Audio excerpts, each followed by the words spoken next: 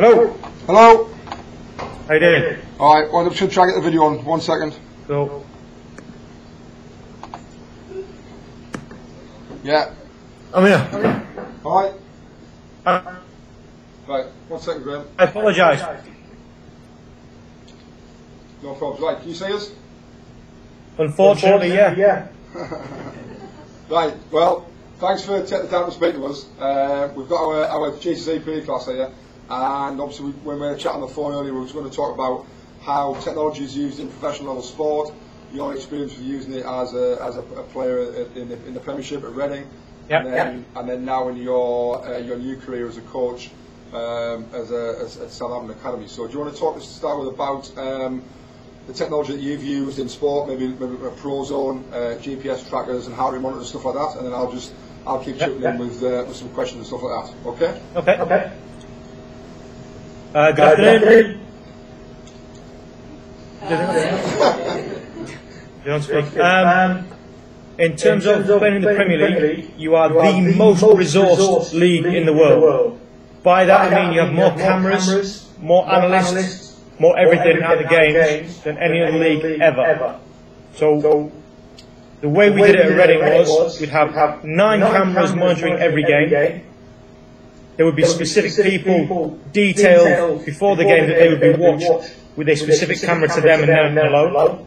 In conjunction with Prozone. Prozone monitors how far you run, how fast you run, when you run, and they give you the, the stats. The stats that we had were we averaged 13 and a half kilometres a game when we won a game. When we lost a game, we averaged 14 and a half kilometres.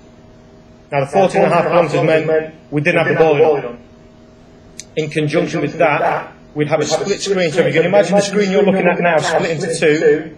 On one side we'd have the game going on so we could look at the video. On the right hand side would be a graphical representation of the entirety of the team moving at the same time as the ball. And we knew that as a back four, because I'm a defender, if we kept the average distances between us at less than 10 metres throughout the entire game, we were 80% less likely con- to concede a goal against any team in the Premier League, including Arsenal, Man United, Chelsea, Liverpool, all of the big teams. I might even put Newcastle in there, depending on Mr. Tait's ideas. But No, no chance. Not after. Not after but we knew that if we got our sports science right, then on the Saturday the game would take care of itself. So we had an analyst sitting in the dugout at every game, feeding that information real time into the coaching staff. So he would look at trends in the game and our distances at pro, at Prozone and dictate what we did in the game. Either I was being too adventurous as a right back, going too far forward, the back four was spreading too much laterally, or we were too deep as a team.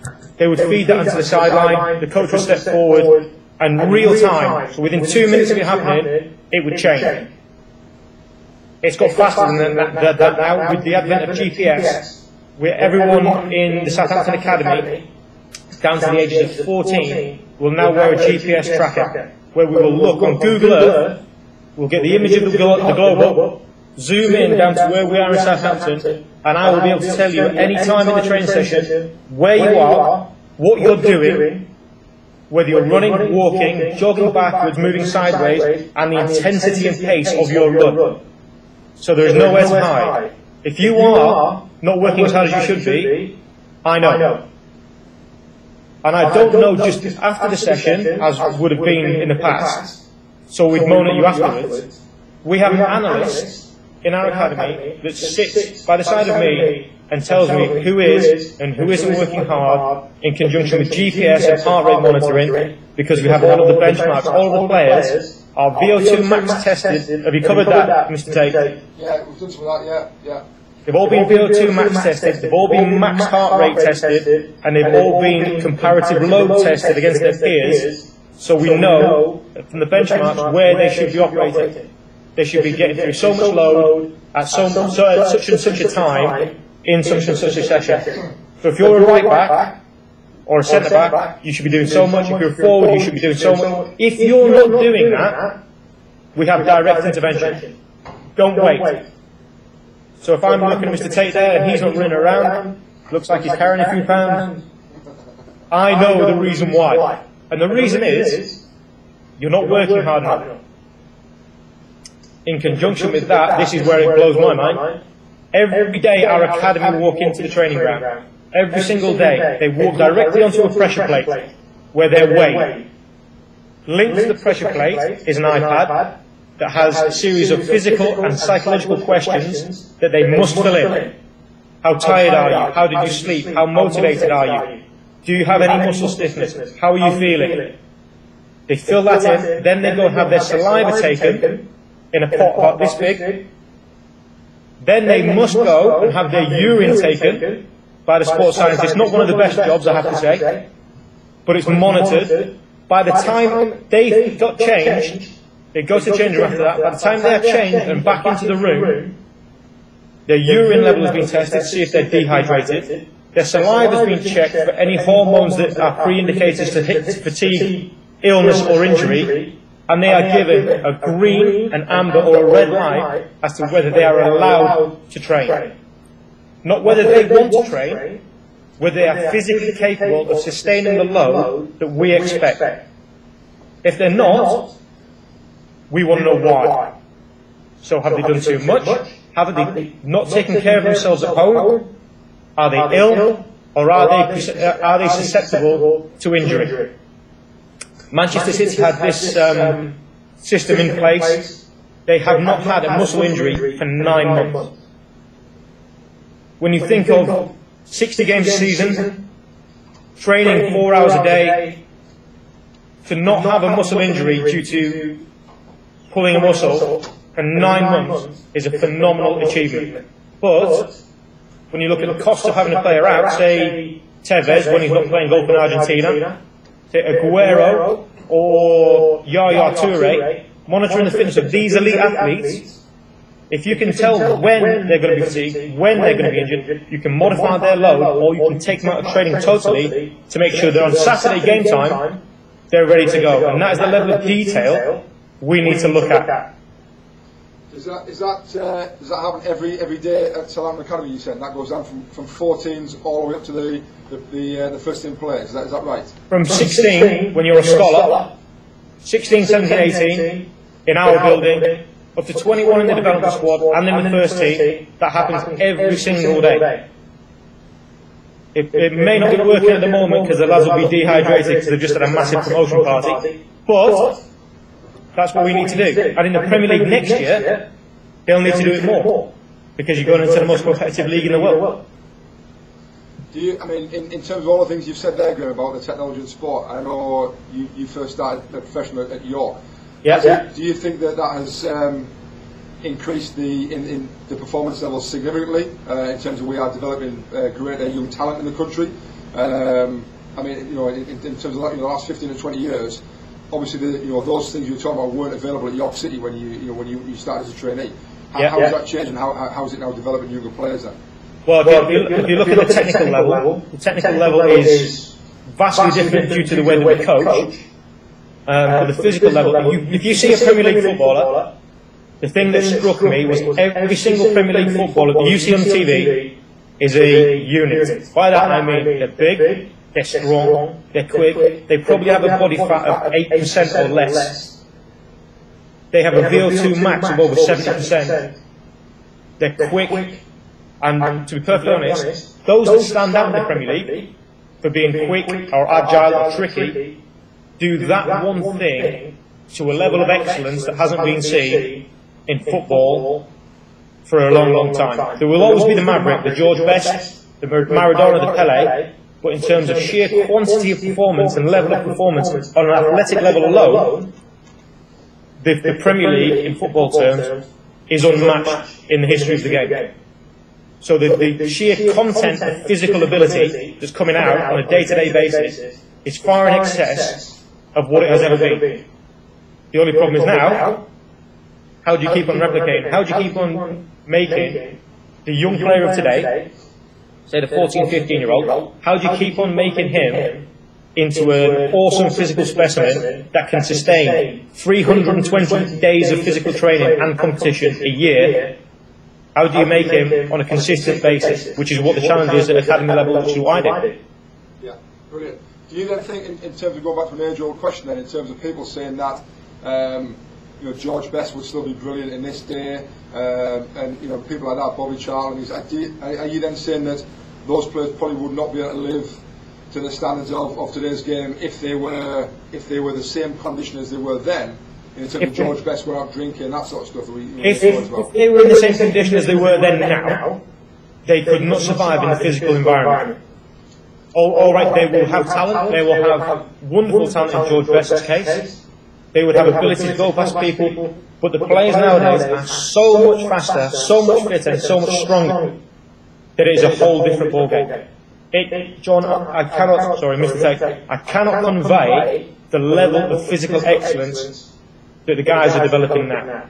In terms of, we, we test all of our kids to come in nine up to 18, and all the trialists, we run them through a battery of physical tests. We run them through jump tests, we run them through chin up test, press up test, squat test, 5 metre, 10 metre, 20 metre, 30 metre sprint tests, 20 metre agility drills to benchmark their level of progress, and the level of progress has increased exponentially. The sheer physical output that these guys are capable of is, is frankly a joke. I'm actually glad I'm retired. It's to, to put a level on it. Say if you've got a guy in your room there or a lady in your room there that is a, an athlete, that is a sprinter, that is top level. Have you got one? Yeah, we've got a few. Who wants to step forward? One of our swimmers, maybe? Anyone? Brian, come forward. We've got a swimmer coming forward, Brian. What was that there? Yes, you've got, Right, we've got, we've got, a, we've got one of our swimmers. Okay, okay. I'll ask, you- I'll ask you a question. How hard do you have to train? Yeah, yeah, we're just talking. Every day, How long? How long? uh, two hours. And what do you do in those two hours? Um, swim, I do it. What do you What do you do when you're training in two hours? What, you, you know, what, what sort of things are you doing? Give it, give me a typical day. Uh, get up, go swimming, get, go swimming, go swimming, that. Okay. Do you do you think the quality of your training would be better if you had a dedicated coach analysing every aspect of your performance for every moment of that training? Yeah, Do you think if they saw the slightest little bit wrong and they changed it real time to make you more efficient and more powerful, you would be faster?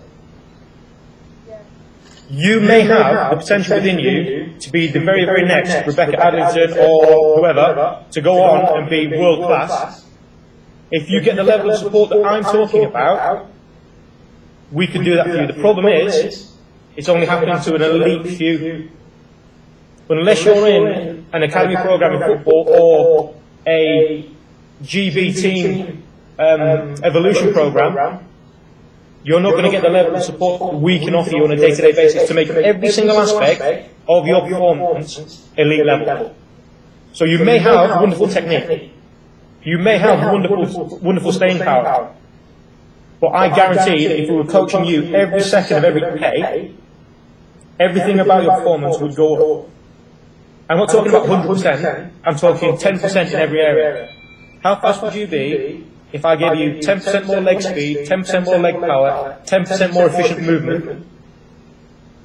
Would you, would you then be on a different plane to where you are now? That's only three elements, John. If we then looked at the way, the way you breathe, the, the stroke as it hit the water, with cameras, we've got, in our new training facility, we've got a treadmill in our swimming pool. So that when someone's coming back from a, a leg injury, we can assess their running style on the treadmill. It's got two cameras on it, one from the front, one from the side, that we can assess their stroke as they run. Now, if you had that on your swimming, on every stroke, your coach can then give you detailed real-time feedback as to where to place your hand in the water to make it more efficient. Every single second of every single stroke.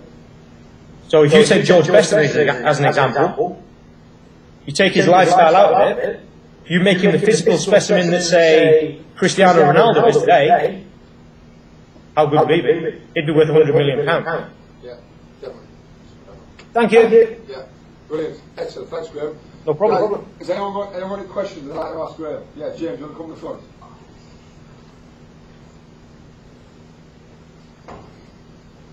Right. Go for it. Uh, obviously, like uh, technology and sport and sports science has come on like phenomenally over the last ten years. Uh, what do you think is going to happen like in the future, like near future? Or, Well, I'll, I'll, I'll, I'll flip it back at you. What do you think is going to happen? I don't know, but like uh, it's obviously going to improve a lot more. But like, are they going to stop? Because there's not much more you can do, really, is there? Uh, I'll, I'll counter that argument by saying Usain Bolt. Do you know what I mean? So you've got a level of performance in the last five years of 100 metre sprinting that people are hitting a threshold and no one's ever going to break it. We're physically as strong, we're fast everything. Then Usain Bolt comes along, he's an absolute freak of nature and he thinks he's going to run 9.4 for 100 metres. So everything can change. Everything can change. It's how you adapt to that change. So I've got no doubt for someone out there that's perfecting a new technique that's going to change it within an instant and everyone will have to catch up. Um, so answer to your question, I've got no clue. But, but the best, and this is why Sir Alex Ferguson, and I'm not a Man U fan anyway, that's why Sir Alex Ferguson is the most successful manager in the Premier League's history, because he adapts to everything new in the game better than anyone else. Brilliant. Thank you. Anyone else with a question? Mr. Clough? Yeah. One of our other teachers, Mr. Clough's got a, got a question. He's a, he's a keen footballer himself, or he likes to think so. Uh, Wait a minute, I'll get the ball done. In terms of, you mentioned about the data that you collate at the end of every day in terms of every Yep. training session. Is that data freely available to compare to other clubs and other academies? No, no. Ah, right. We, we, we, we, we don't cross-reference it. We cross we benchmark our players against themselves and their best stats. We find that if we dilute it by bringing other people into the mix, invariably there are, there are differences in the way the data is taken and how it's applied. So if we do a skin fold test for body fat, we, we have an accredited specialist in that with a certain level of expertise and he does every single one so we get replication and we have the same areas that's targeted so we have it to be um, you can, you can compare it easier rather than if you get it from someone else. Right. Um, and also we don't want anyone to know how fast our lads are. Right, I understand. There, yeah. Another question. My friend works for Newcastle, and he Yeah. does Yeah. all the he does all the, the videoing of the games, and he breaks it all down. So, for, It's not, not, it's not Ben, is it? no, he's like called Callum Little. He Okay. works for the academy, Yeah. and he sits in front of a computer six days a week. Yeah. uh, Yeah. Up to 18 hours breaking down under nines, under Yeah, 10s, yeah. under 11s. Do you have that facility at your club as well, where they can analyse each player to say what they're doing, what they've covered in terms of GPS as well? Well, we have, if you walk into our building, in our scouting and recruitment and talent, talent ID centre, we have five full-time analysts for the academy alone. So their job, all day, every day, is to actually cut the pieces that we want. To put it in perspective, we played a development game against Brighton. The next day, four coaches out of our department were sat in an office dealing with individual players and their part in the game. Every touch they had, every contribution they made was broken down and analysed, as well as giving them a DVD on the day of the game. We then bring them back in and go through it. We let them lead the review as to what they want to get out of it, and then we say our points. Because we find that if we talk at kids, I don't know if you find the same, kids will listen for a little bit, and then they'll tell you what you want to hear. So, what do you think about that? And he'll go through the checklist of things that he should say, not what he really thinks. So we give him the DVD, let him watch it, then come back in, and then we feed it into them. And we do that for every single game. So from 9 up to 21, we've got all of those teams and we have that facility to do it for every single player. And it's their homework from under 9 upwards to review the game. Right. So yeah, we, we, we try to incorporate it as much as we can. Great. Yeah. Thanks very much. anyone with questions? Anyone else? Anyone? Yeah, Richie? Yeah. Go on, Rich. What's the best ground you've ever played at as a footballer? Uh, Old Trafford. St James's. I missed Anfield, but I played at um, the Millennium Stadium as well. Um, I would have said Old Trafford is an absolute joke. It's massive, it's huge, it's great. The only problem is you're playing against Man United, so you're going to get spanked. Um, in terms of the new ones, the Emirates is absolutely beautiful. It is beautiful. It's sensational. Um, yeah, I'd, I'd say it's out of the Emirates and Old Trafford. Yeah, good. Thank you. Anyone else? Anyone? Huh? Go on then, what? Well, Liam was Liam was playing in a, in a game at St James's Park tonight. He wants to know what the slope's like for a left back because he's, he's worried that he's worried they're going to get battered by the Newcastle reserves tonight. It's not too bad. Just don't go forward. Yeah, that's the only outlet. That's all I'm good at, Graeme, just running. Um, I think one of, one of the things that some of the lads were, were when we're thinking about, and they're probably all too scared, um, was what it was like to play against Cristiano Ronaldo. And as a, as a, obviously as a as a fullback, um, you're obviously you're, you, know, you you were tasked with marking him um, and what else. Can you tell us what it was like in terms of the preparation, what you had to do in terms of your homework on Ronaldo, and then what it was like actually facing up to the prospect of playing against probably you know one of the best players in the world, if not you know the best, and maybe maybe one of the, you know, the better wingers of all time. Okay. Well, in the week leading up to the game, I've, you get given a DVD, or Reading did it, they give you a DVD of every attacking third entry that Man United had in the game before. So every time they got the ball over the halfway line and went to attack, basically, we were shown the ways they got the ball to Ronaldo, the ways he received the ball, his predominant foot, which way he went most times. And I've got to tell you, it was completely and utterly wrong. Because the first time he got the ball and he ran at me, I was thinking, right, he's going to go inside here, he's going to throw a step over, and then he's going to do this. And he didn't, he just kicked it to the byline and legged it. So, whatever you want, you can do whatever you like in terms of preparation, you just got to go and deal with it. Now, when I said Cristiano Ronaldo's six foot one, probably 13 and a half stone, body fat of 6%, and he's got the quickest feet you've ever seen in your life, all you can try and do is get as many people around him as possible. Because if you play against him one on one, he's going to kill you. I don't care who you are. Unless you're actually called someone of that ilk, he's just so good. Um, what we tried to do to him was limit the pass out to him. So with Scholes and Carrick playing in midfield, we tried to get the people around them so they couldn't play that 60, 70 yard ball out to him, which would give me time to get a little bit closer to him. Um, and for 80 odd minutes, we did it really well, and I did quite well against him. And, and then he just walked past me and scored, which was horrific. But they, he's just, in terms of lateral movement, I'm a fullback, so I'm quite good going side to side. His lateral movement, I would say, over a five yard period, he would beat me by two, maybe two and a half every time. If we went at the same time, his side step from side to side is an absolute joke. So if you stand up, John, you turn and face your, your class. If you took two strides to your right, in the time it took him to do that, Cristiano Ronaldo can go about 15 yards with the ball. Right, so do it again. What quickly or slowly? I thought that was you being quick. Uh, I was only half pace. Go on and do, do a half pace then. Right, so, you see how wide Mr. Tait is? Sorry, I didn't mean to say that, John. Um, in terms of the, the speed that he covered, that gap there, those two strides, Ronaldo's whole body would be outside where he is, and he'd be five yards towards the screen. So, to put that in context, you can try him move side to side. Some people are just genetically, physically more capable. And he is without doubt the most capable athlete I've ever had. Once you marry that to his hard work and his technique, he's nearly unstoppable. I talked to uh, Man United coach, and he said they spent six months. Have you ever seen that free kick he does, where he gets it up and over the wall, and he doesn't spin at all side to side? They spent six months adjusting the placement of his foot and the placement of his left hand by four inches.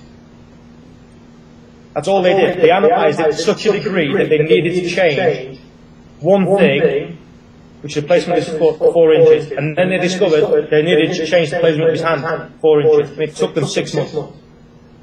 But that's the level of detail the very, very best operator. So, raw talent he's got, raw talent combined with hard work is unbeatable. Yeah, excellent, wonderful. Right, there's no. Right, got one more. Yeah, Liam's got one more question, and I think we'll wrap it off there, Glenn. No, no, I haven't got a Ferrari.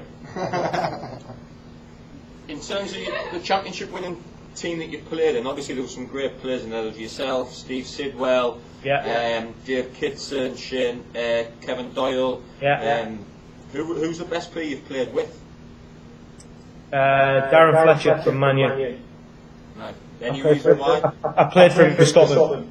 He's just, well, going back to what I said about Premier League players being able to do everything, strong, physically able, two very good feet. The problem with him at Man United is